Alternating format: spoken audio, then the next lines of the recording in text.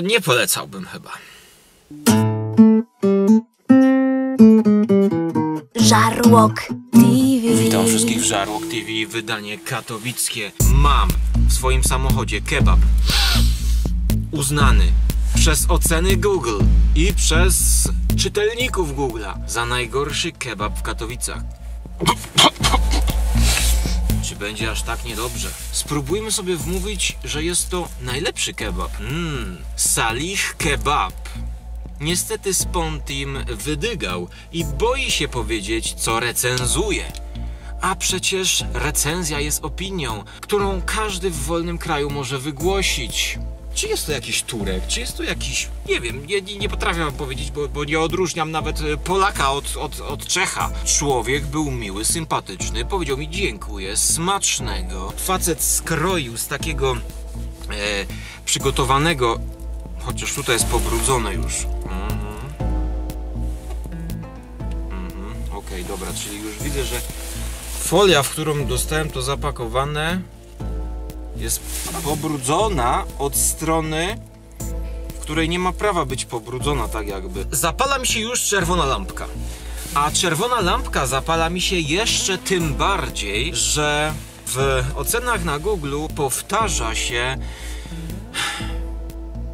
niebezpieczeństwo. Ludzie ostrzegają, że po tym kebabie mają przeczyszczenie. Zapobiegawczo zrobię tak jak Magda Gessler. Będę próbował, ale nie łykał. I w montażu będę wycinał e, to, że ja to wkładam na chusteczkę, żeby to nie było obrzydliwe. Chodzi nam tylko o smak. I wziąłem wersję zawiniętą e, w pitę, bardziej wypasioną, bo za 11 zł i w tej cenie można dostać fetę. Tak więc 10 zł za zwykły kebab, a 11 zł za ten kebab z fetą. Czy to będzie feta? Mam stresa, bo najgorsza pizza w Katowicach okazała się zwyczajna, ale lokal. Może opiszę wam go, bo nie mam żadnego zdjęcia. To jest tak, jakbyście weszli do jaskini. Mam kibel i myślę, że to będzie hit. Nie byłem zapytany, jaki chcę sos w ogóle. Zapachy są, powiem wam, takie mm, dosyć wyraziste. Opcja bez filtra z lampą błyskową. Wiem, że jest ciemno, no najmocniej was przepraszam. Jak ja widzę kebab obracający się na ruszcie wokół własnej osi, to po prostu nie wchodzę do takich miejsc, bo zwykle są to tak zwane gotowe mielonki, które oni kupują masowo i po prostu podgrzewają, no i na tym polega praca kucharza? Czy to w ogóle można na- nazywać kucharstwem? A najgorsze jest to, że jeżeli oni w tej jaskini nie dbają o czystość, to to może smakować zwyczajnie.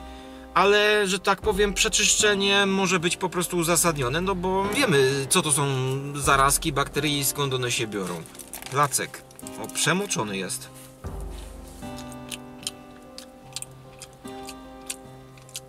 Znaczy słabo zapieczony jest, jest mię miękki, nie, nie jest chrupiący. Myślę, że placka mogę zjeść, tak? Czerwona kapusta. Kebab. It's time to stop! It's time to stop, okay? No more! Where the fuck are your parents? Who are your parents? Wysuszony dosyć. Mhm. Jest wysuszony. Jest słony. Słony jak kurwa. Szanowni Państwo, to jest jakiś. To jest chyba jakiś, jakiś ewenement. Mam wrażenie, nam się trafił na skalę polską. Mnie się już odbija, a nie przełknąłem. Ja jadę jeszcze. Jeszcze cisnę. Kiszone ogórki, które są strasznie takie rozmemłane, rozmiękczone, jakby one stały. Smaki są takie bardzo agresywne. Sama sól głównie tutaj czuję, samą sól. Ta feta jeszcze chyba podkręca. Dobra, spróbujmy tej fety. Nie połknę tego, no nie ma opcji. To jest feta, która przeszła trepanację czaszki. Czy wszystko można spieprzyć w kebabie? Ja pierniczę. Jest godzina 16. Nikt mi nie wmówi, że ta cebula była skrojona dzisiaj rano. No nie wiem, chyba że o czwartej rano wstali i kroili cebulę.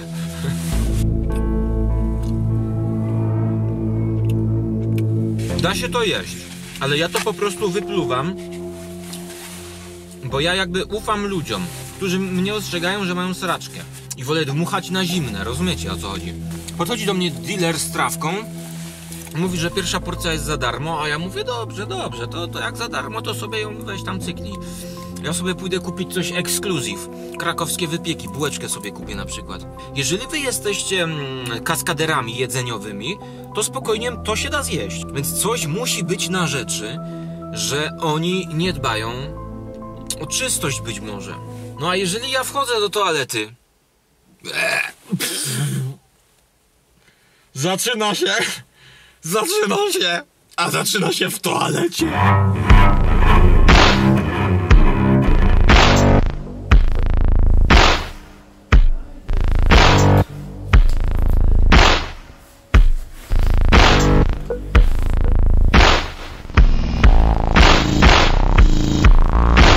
Przedszkolu dzieci uczą kroić cebulę. Najważniejsze, żeby to było świeżo pokrojona cebula. Żeby ona nie czekała tam na mnie godzinami, o. Albo chociaż pokażcie ludziom. Jesteście z zagranicy, powinniście tę kulturę na- nam pokazywać, jak to dobrze jeść. Weźcie cebulę. Podchodzi facet, Polak, to polski kebab. Dla pana świeża cebula. Ciach, ciach, ciach, ciach, ciach. I jest, jest efekt, jest bajer, od razu ludzie kupują. Byście na tym zrobili biznes niesamowity. A wy co tutaj dajecie? Co tu jest fajnego? Dlaczego mógłbym to polecić? Co tu jest fajnego?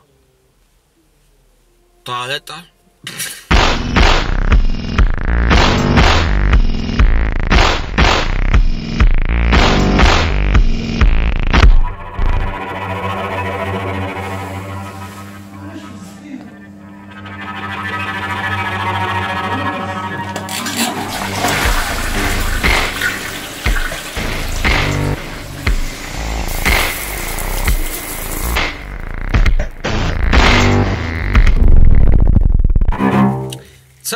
niska, ale ryzyko za wysokie. Taki typowy kebab, taki no, taka gąbeczka gotowa, mieloneczka taka o, taki kebabik, no. Trzeba zacząć zmieniać i po prostu edukować ludzi. On nie musi być ścięty z tej kręcącej się karuzeli.